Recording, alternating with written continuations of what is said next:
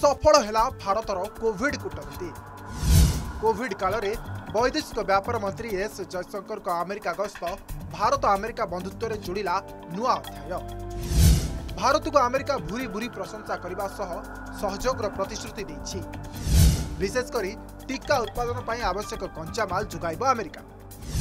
Covid ସହିତ ଲଢ଼େଇ ବେଳେ ସବୁ ଚ୍ୟାଲେଞ୍ଜର ମୁକାବିଲା କରିବା ନେଇ ପ୍ରତିଶ୍ରୁତି ଦେଇଛି ୱାଶିଂଟନ। ଯେତେବେଳେ କୋଭିଡ ସଂକ୍ରମଣ ନୂଆ ନୂଆ ସାରା ବିଶ୍ୱରେ ଆରମ୍ଭ ହୋଇଥିଲା ସେତେବେଳେ ଆମେରିକାକୁ ସହାୟତାର ହାତ ବଢ଼ାଇଥିଲା ଭାରତ।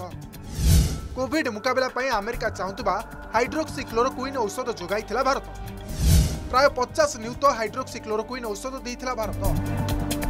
ଆମେରିକାର secretary of state Antony Blinken ଅସମୟରେ ଭାରତ କରିଥିବା ଏହି ସହଯୋଗକୁ ମନେ ପକାଇଥିଲେ। ଏହା ସହିତ କୋଭିଡ ନାଇଣ୍ଟିନ୍ର ପ୍ରାରମ୍ଭରେ ଆମେରିକାରେ ସୃଷ୍ଟି ହୋଇଥିବା ପ୍ରତିକୂଳ ପରିସ୍ଥିତିରେ ଭାରତ ଯେପରି ସହାୟତାର ହାତ ବଢ଼ାଇଥିଲା ତାହା ଦେଶ ଭୁଲିବ ନାହିଁ ବୋଲି ବ୍ଲିଙ୍କେନ୍ କହିଛନ୍ତି।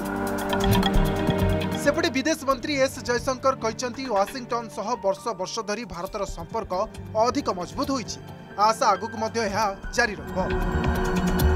ବାଇଡେନ୍ ସରକାର ଗଠନ ପରେ ପ୍ରଥମ କ୍ୟାବିନେଟ୍ ମନ୍ତ୍ରୀ ଭାବରେ ବୈଦେଶିକ ବ୍ୟାପାର ମନ୍ତ୍ରୀ ଏସ୍ ଜୟଶଙ୍କର ପାଞ୍ଚ ଦିନିଆ ସରକାରୀ ଗସ୍ତରେ ଆମେରିକା ଯାଇଥିଲେ। ବିଦେଶ ମନ୍ତ୍ରୀଙ୍କ ଏହି ଗସ୍ତ ଭାରତ ପାଇଁ ଅତ୍ୟନ୍ତ ଗୁରୁତ୍ୱ ବହନ କରୁଛି। ମାରାତ୍ମକ କୋଭିଡ୍ ନାଇଣ୍ଟିନ୍ ମହାମାରୀର ମୁକାବିଲା ପାଇଁ ଭାରତକୁ ସହଯୋଗ କରିଥିବାରୁ ବାଇଡେନ୍ ପ୍ରଶାସନକୁ ଧନ୍ୟବାଦ ଜଣାଇଥିଲେ ଜୟଶଙ୍କର। କୁହାଯାଉଛି କଞ୍ଚାମାଲ ଯୋଗାଇବା ପାଇଁ ଆମେରିକାର ପ୍ରତିଶ୍ରୁତି ଭାରତର ବଡ଼ କୂଟନୈତିକ ବିଜୟ। Report Nos vemos.